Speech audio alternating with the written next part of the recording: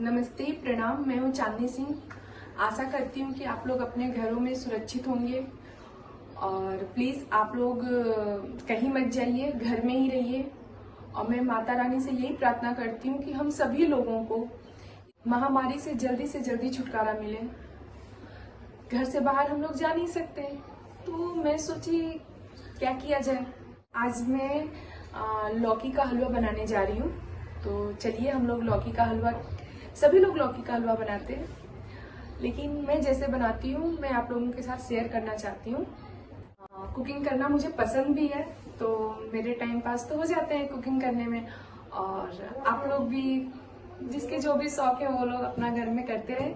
लेकिन घर से बाहर प्लीज़ मत जाइएगा। चलिए, अब हम लोग देखते हैं कि हमें लौकी का हलवा बनाने के लिए क्या क्या चाहिए। सबसे पहले हमें ड्राई फ्रूट चाहिए और एक गिलास दूध और शक्कर, कद्दू कसा हुआ लौकी और घी।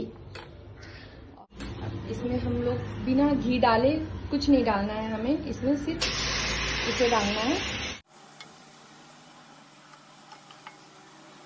तो फिर इसमें हम डालते हैं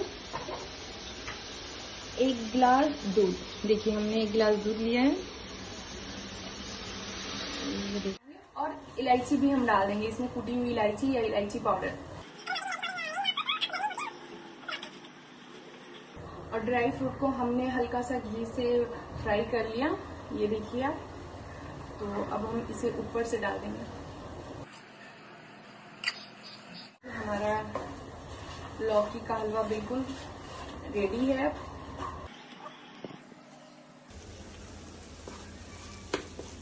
इसमें आप मावा भी डाल सकते हैं।